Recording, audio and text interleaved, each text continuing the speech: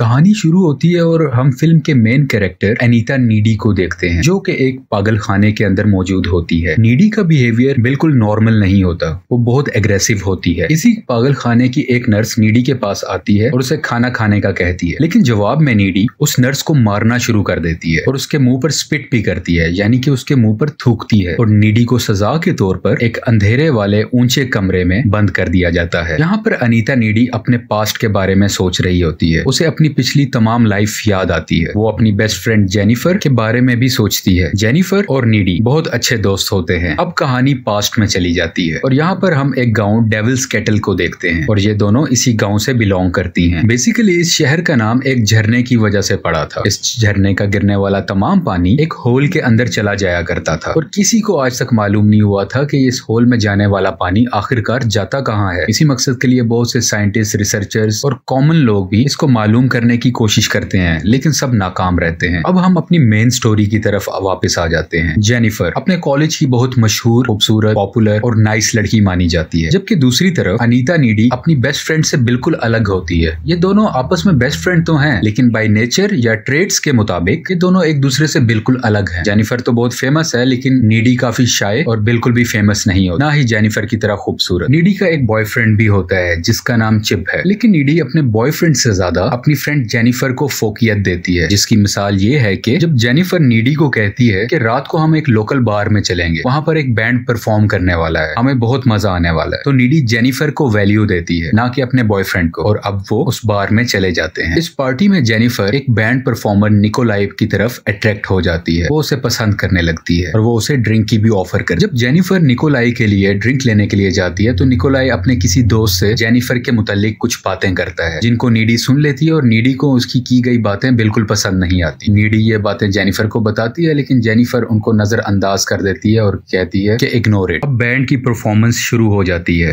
लेकिन उसी वक्त शॉर्ट सर्किट होने की वजह से इस हॉल में आग लग जाती है और आहिस्ता आहिस्ता ये आग बहुत ज़्यादा फैलने लगती है और यहाँ पर सब लोग काफ़ी मुश्किल से अपनी जान बचाते हैं। नीडी भी जेनिफर को टॉयलेट की विंडो तोड़कर बाहर की तरफ़ भाग आती है और पूरे हॉल में, पूरे बार में काफ़ी ज़्यादा आग लग चुकी हो। लोग चीख रहे होते हैं। अब सब बाहर आ चुके होते हैं। बैंड मेंबर निकोलाय जेनिफर को कहता है कि तुम हमारे साथ चलो, हम बहुत एंजॉय करेंगे। और उसे वो वैन में जाने का कहता है। नीडी जेनिफर को बहुत रोकती है कि तुम मत जाओ, लेकिन जेनिफर का दिल होता है उनके साथ जाने में। और जेनिफर निकोलाय और उसके दोस्तों के साथ वैन में बैठकर चली जाती है। और नीडी पीछे अकेली रह जाती है। और वो जेनिफर को यहाँ से अकेले जाते देख रही होती है। और ये दुख उसके चेहरे पर साफ़ नज़र आ रहा है। अब नीडी परेशानी की हालत में वापस अपने घर आ जाती है। और यहाँ पर वो अपने बॉयफ्रेंड चिप को कॉल करती है। और इस वाक्य के बारे में सब कुछ उसे बताती है। वो उसे बताती है कि जेनिफर उन लोगों के साथ चलेगी है। मुझे डर है कि कहीं वो उसको कुछ नुकसान ना पहुँचा दें। ये जेनिफर के रेप होने का डर भी अपने बॉयफ्रेंड को बताती है। अभी फ़ोन पर बात हो ही रही होती है कि इसके घर के बाहर एक बेल होती है। ये बाहर जाकर देखती है, लेकिन वहाँ ऐसे कोई नज़र नहीं आता। अब जब डोर के बाहर कोई नहीं होता तो वो वापस अंदर आने लगती है। लेकिन अंदर आते हुए उसे घर के अंदर से कुछ आवाज़ें सुनाई देती हैं। और वो जैसे ही डरते हुए अंदर आती है तो सामने देखती है कि जेनिफर बैठी हुई है, जो कि बहुत जख्मी हालत में है। उसके चेहरे पर खून लगा हुआ है और यहाँ पर जेनिफर एक अजीब क्रीपी किस्म की स्माइल देती है, जिसे देखकर नीडी परेशान हो जाती है। इसके अलावा जेनिफर इस घर का फ्रिज ओपन करती है और यहाँ से कच्चा चिकन निकाल कर उसको भी खाने लग जाती है। जेनिफर यहाँ पर एक डरा देने वाले तरीके से चीखती है, चिल्लाती है और इसके अलावा उल्टियाँ भी करती है, जो कि काले रंग की होती है। जेनिफर इसको डराने के बाद यहाँ से चली जाती है। अब अगला दिन आ जाता है। नीडी कल रात हुए वाक्य के बारे में सब कुछ सोच रही होती है और बहुत परेशान होती है। जेनिफर के लिए भी बहुत परेशान होती है। यहाँ पर जेनिफर आ जाती है, जो कि बिल्कुल नॉर्मल लग रही होती है। कल रात जेनिफर की हालत तो बहुत खराब थी, लेकिन आज सुबह वो पहले से ज़्यादा एक्टिव एनर्जेटिक और बोल्ड लग रही होती है। अब ये दोनों अपनी क्लासरूम में मौजूद होते हैं। यहाँ पर इनके टीचर कल रात बार में मरने वाले लोगों पर अफसोस कर रहे होते हैं, दुख कर रहे होते हैं। तो जेनिफर उसको देख के हंस रही होती है और अपने टीचर का मज़ाक बनाती है। जेनिफर के अंदर बहुत सी चेंजेस आ चुकी होती हैं, जो कि नीडी इन सब चेंजेस को देखकर बहुत परेशान होती है और बहुत ज़्यादा कंफ्यूज होती है। नीडी अपने बॉयफ्रेंड चिप को भी ये सारी बातें बताती है। वो इसे ये भी बताती है कि कल रात जेनिफर उसके घर आई थी और उसका बिहेवियर बहुत अजीब था, जैसे कि जेनिफर के अंदर कोई चीज़ आ चुकी थी और वो जेनिफर बिल्कुल नहीं लग रही थी और वो बहुत वियर्ड बिहेव कर रही और अब कहानी में कुछ ट्विस्ट आने वाले हैं। जेनिफर अपने कॉलेज की फुटबॉल टीम के कैप्टन से मिलती है, जो कि बहुत दुखी था, क्योंकि कल रात हुए एक्सीडेंट में इसके कुछ दोस्त मर चुके होते हैं। जेनिफर उसको बहलाती है और स्कूल के करीब वाले जंगल में ले जाती है। यहाँ पर वो उसे सिड्यूस भी करती है और और उसी वक्त इनके चारों तरफ़ कुछ जानवर, परिंदे इकट्ठे हो जाते हैं, जो इनको देखने लगते हैं। यह बहुत अजीब मंजिर है और उसी वक्त जेनिफर का चेहरा बदल जाता है। उसके दांत बड़े से हो जाते हैं, जैसे कोई ईवल उसके अंदर आ गया हो। और वो अपने साथ मौजूद फुटबॉल कैप्टन को मार देती है। मरते हुए ये फुटबॉल कैप्टन चीखा होता है, जिस चीख की आवाज़ कॉलेज के प्रोफेसर ने सुन ली होती है। और इस चीख को सुनते हुए कॉलेज के प्रोफेसर उधर आते हैं, जहाँ पर वो प्रोफेसर इसकी कटी और फटी हुई लाश को देखते हैं। नीडी और जेनिफर फ़ोन पर बात कर रहे होते हैं। नीडी बहुत दुखी है, क्योंकि बहुत कम वक्त में इनके शहर में बहुत सी अमवात हुई हैं, बहुत से लोग मरे हैं। लेकिन जेनिफर उसे कहती है कि तुम चिल करो और मूव ऑन करो। इसके अलावा हम यहाँ पर यह भी देखते हैं कि जेनिफर लाइटर से अपनी ज़ुबान पर आग लगा रही होती है, लेकिन उसकी ज़ुबान को जरा भी नुकसान नहीं पहुँचता। और जेनिफर नीडी को कहती है कि आई एम गॉड मैं खुदा और आहिस्ता आहिस्ता अब एक महीने का वक्त गुजर चुका है। अब जेनिफर बहुत थकी हुई लगती है, बीमार लगती है टायर्ड लगती है। अब ये बिल्कुल पहले जैसी एक्टिव और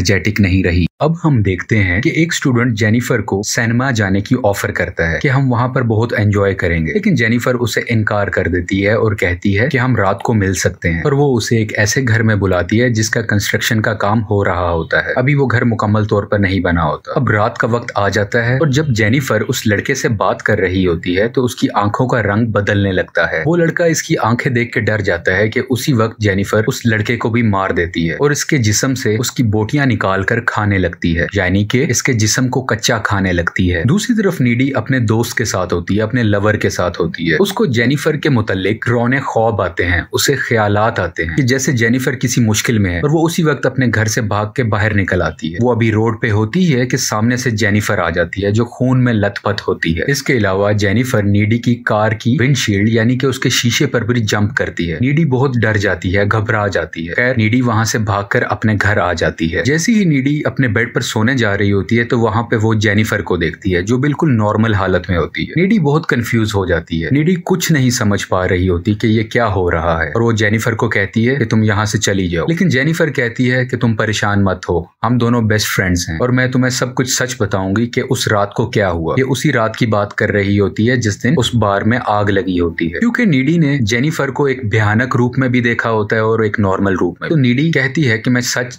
जानूं। और जेनिफर सब बातें बताने लगती है। जेनिफर बताती है कि उस रात जब मैं उस बैंड के लड़कों के साथ वैन में बैठकर गई तो वो मुझे झरने के पास ले गए थे। निकोलाए जो बैंड का मेंबर था और उसके तमाम दोस्त बेसिकली शैतान को पूजा करते थे। और वो ये सब इसलिए कर रहे थे ताकि वो अपने म्यूजिकल कैरियर में सक्सेस पा सके। उन्होंने मुझसे पूछा था कि क्या तुम वर्जिन हो? तो मैंने उन्हें कहा था कि हाँ। तो बेसिकली उन्होंने मुझे मारकर शैतान को सेक्रीफाइस करना था ताकि उनको कामयाबी मिल सके। ये बैंड काला जादू बेसिकली कर रहा था। निकोलाए जो बैंड मेंबर था, उसने जेनिफर को चाकू मारकर उसी झरने में फेंक दिया होता है। यहाँ पर एक और बात भी पता चलती है कि जेनिफर असल में वर्जिन नहीं होती, जिस वजह से वो ज़िंदा बच जाती है। लेकिन ज़िंदा बचने के बाद वो नॉर्मल नहीं रहती, उस पर ईवल पोजेस कर लेता है, शैतान उस पर हावी हो जाता है। मैं एक चीज़ क्लियर करता चलूँ, वो बैंड मेंबर्स इस सेक्रीफाइस के बाद वो भी फ़ेमस हो गए और जेनिफर भी ज़िंदा बच गई, लेकिन उस पर शैतान हावी हो गया। और वो ये भी बताती है कि जब वो जागी तो उसे बहुत भूख लग रही और भूख की हालत में मैं तुम्हारे घर भी आई थी। क्योंकि तुम मेरी बेस्ट फ्रेंड हो तो मैं तुम्हें कभी भी नुकसान नहीं पहुँचा सकती। इसलिए मैं उस रात तुम्हारे घर आई और फ्रिज खोल के कच्चा चिकन खाने लग गई। जेनिफर अपनी दोस्त को यह भी बताती है कि जब वो किसी इंसान को खा लेती है और उसका पेट फुल होता है तो उसके अंदर एक्स्ट्रा पावर्स आ जाती हैं। और वो इस बात को अपना हाथ काट कर शो भी करती है। वो अपने हाथ को काटती है तो उसका हाथ फ़ौरन से खुद ही हील हो जाता है। जेनिफर के पास अब शैतानी ताकते हैं। ये सब सुनकर, देखकर और जानकर नीडी बहुत डर जाती है और वो जेनिफर को कहती है कि यहाँ से तुम चली जाओ। मुझे इस वक्त और कोई बात नहीं कर। और जेनिफर इसके घर की खिड़की से कूद कर बाहर चली जाती है। लेकिन ये खिड़की सेकंड फ्लोर पर होती है, जो कि ज़मीन से तकरीबन 12-13 फुट के फासले पर होती है। इतनी बड़ी जंप देखकर नीडी और घबरा जाती है। नीडी इस मामले की मजीद इंफॉर्मेशन के लिए अपने टाउन की लाइब्रेरी में जाती है और वहाँ पर वो पैरानॉर्मल बुक्स की रीडिंग करती है, ताकि वो सच को जान सके और कोई हल निकाल सके। बुक रीडिंग से नीडी को पता चलता है कि उस बैंड से गलती हुई थी, क्योंकि क्योंकि वो जेनिफर को वर्जिन समझ रहे थे, उसके बदले में वो लोग तो फ़ेमस हो गए, लेकिन जेनिफर पर शैतान हावी हो गया। और अब जेनिफर को ठीक करने का एक ही तरीका है कि उसके दिल में चाकू मार दिया जाए, क्योंकि इसके अलावा और कोई हल नहीं है, इस बुक के मुताबिक। इसके अलावा नीडी ये सब बातें अपने लवर चिप को भी बताती है, लेकिन चिप इसकी बातों पर ज़्यादा ध्यान नहीं देता और ना ही यकीन करता है। वो नीडी को कहता है कि तुम किसी साइकेट्रिस्ट को दिखाओ। इसके अलावा नीडी को यह भी पता चलता है कि जेनिफर के लिए लोगों को मार के खाना बहुत ज़रूरी है, क्योंकि अगर वो उन्हें नहीं नहीं खाएगी तो वो पहले जैसी खूबसूरत नहीं रहेगी। तो खुद को खूबसूरत और जवान रखने के लिए जेनिफर को लोगों को मार के खाना ज़रूरी है। अब से कुछ दिन बाद इनके कॉलेज में एक डांस फ़ंक्शन भी होता है। जहाँ पे बहुत से लोग इकट्ठे होने वाले होते हैं। नीडी इसलिए भी परेशान होती है कि जेनिफर उस फ़ंक्शन में किसी न किसी को मार ना दे, बल्कि वो और ज़्यादा इसलिए भी परेशान होती है कि नीडी का बॉयफ्रेंड चिप की जान को भी खतरा हो सकता है, और वो अपने बॉयफ्रेंड को भी कहती है कि तुम उस फ़ंक्शन में मत आना। लेकिन इसका बॉयफ्रेंड हंस के बात को टाल देता है और कहता है कि कुछ नहीं होगा, तुम रिलैक्स रहो। अब डांस डे का दिन आ जाता है। इस फ़ंक्शन में सब लोग डांस कर रहे होते हैं। नीडी यहाँ पर अपने बॉयफ्रेंड का इंतज़ार कर रही होती है, लेकिन अब तक चिप नहीं आया होता। और दूसरी तरफ़ जेनिफर भी वहाँ पे अवेलेबल नहीं होती। उसके जहन में बहुत से बुरे ख्याल आते हैं। वो डर जाती है कि इधर फ़ंक्शन में ना तो चिप है, ना ही जेनिफर। और इस परेशानी की हालत में वो उस फ़ंक्शन से भागकर घर की तरफ़ आती है। नीडी को चिप के घर से पता चलता है कि वो अभी ही कुछ देर पहले वॉक करता हुआ कॉलेज फ़ंक्शन अटेंड करने के लिए गया है। और नीडी भी परेशानी की हालत में उसी तरफ़ भागना शुरू कर देती है। दूसरी तरफ़ चिप को रास्ते में जाते हुए दिखाया जा रहा होता है, जहाँ पर जेनिफर इससे मिलती है। और जेनिफर चिप को गुमराह करती है कि नीडी का किसी और के साथ अफेयर था। और यही वजह है कि वो तुम्हें ज़्यादा इंपॉर्टेंस नहीं देती। और इनके दरमियान और भी बहुत सी बातें होती रहती हैं। बातों बातों के दरमियान ये इसे एक खंडर की तरफ़ ले जाती है। जेनिफर का हमेशा से तरीका रहा होता है कि पहले वो किसी को सिड्यूस करती है और फिर उसे मार देती है। जेनिफर चिप के करीब जा ही रही होती है कि चिप उसे रोक देता है, क्योंकि वो नीडी से प्यार करता है। और वो नहीं चाहता कि कोई और लड़की उसके करीब आए। इस चीज़ को देखते हुए जेनिफर को बहुत गुस्सा आ जाता है और वो गुस्से में चिप पर अटैक कर देती है, उस पर हमला कर देती। जेनिफर का ये रूप बिल्कुल शैतानी है। दूसरी तरफ़ हम देखते हैं कि नीडी इन दोनों की तलाश में भी वहाँ पहुँच जाती है। नीडी देखती है कि जेनिफर उसके लवर के गले पर काट रही होती है, उसको मारने की कोशिश कर रही होती है और ये बिल्कुल खून से भरी होती है। लेकिन नीडी भी उधर कूद जाती है और अपने लवर को बचाने की कोशिश करती है।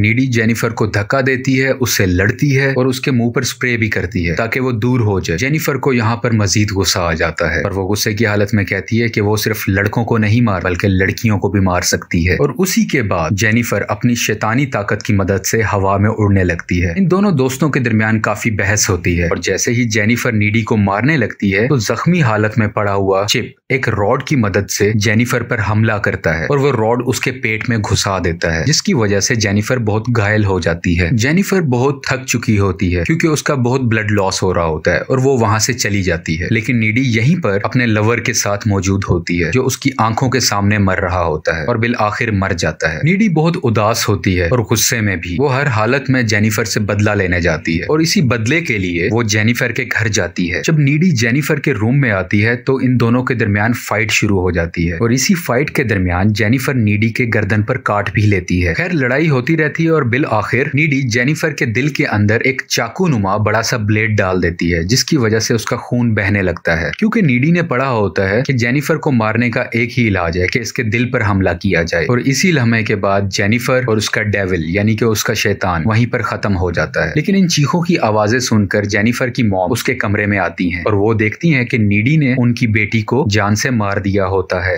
और अब मूवी अपने इनिशियल सीन्स पे आ जाती है कि नीडी क्यों उस जेल में थी, क्यों उस पागल खाने में थी, क्योंकि इसने जेनिफर का कत्ल किया होता है। लेकिन अजीब बात हमें यह पता चलती है कि अब ये नीडी, पहले वाली नीडी नहीं रही। और उसकी वजह यह है कि जेनिफर ने नीडी को लड़ाई के दरमियान काटा होता है, जिसकी वजह से ये शैतानी ताकतें नीडी के अंदर भी आ जाती और हम यहाँ पर नीडी को हवा में उड़ता देखते हैं। यहाँ पर नीडी के पास भी अब सुपर पावर आ जाती है। और इसी वजह से वो बहुत ज़्यादा एग्रेसिव होती है। जबकि पहले नीडी ऐसी नेचर की नहीं थी। यहाँ पर ये इस काल कोठड़ी के अंदर बंद होती है। लेकिन नीडी अपनी शैतानी ताकतों का इस्तेमाल करते हुए यहाँ से उड़ जाती है और खिड़की से बाहर निकलकर बाहर चली जाती है। यानी कि इस जेल से भाग जाती है। जेल से भागकर ये उसी झरने के पास जाती है और इसे वही चाकू मिलता है जो निकोलाय ने जेनिफर को शैतानी ताकतें हासिल करने के लिए मारा होता है। नीडी उस चाकू को उठा लेती है और एक कार से लिफ्ट लेते हुए वहीं पर जाती है, जहाँ पर वो बैंड होता है, जहाँ पर वो बैंड अपना कॉन्सर्ट कर रहा होता है। हम इस बैंड को भी देखते हैं, जो अपना कॉन्सर्ट खत्म करने के बाद अपने रूम में बैठकर अयाशी कर रहे होते हैं, जैसे कि ड्रग्स इस्तेमाल करना। और उसी वक्त वहाँ पर कोई आता है और इन सब मेंबर्स को मार देता है, बहुत ब्रूटल तरीके से। इस वक्त तक ये नहीं दिखाया जाता कि ये कत्ल किसने किए, इन म्यूजिकल बैंड मेंबर्स को किसने मारा। लेकिन आगे चल के हम देखते हैं कि सीसीटीवी फुटेज में इनके रूम से और कोई नहीं निकल रहा होता, बल्कि नीडी ही आ रही होती है। यानी कि ये तमाम कत्ल नीडी ने किए होते हैं। और इसका मतलब बिल्कुल बिल्कुल क्लियर है। नीडी ने उन म्यूजिकल बैंड वालों को मार दिया, जो कि वो डिजर्व करते थे, क्योंकि उनकी वजह से ये सब कुछ हुआ था। उसका लवर मरा था,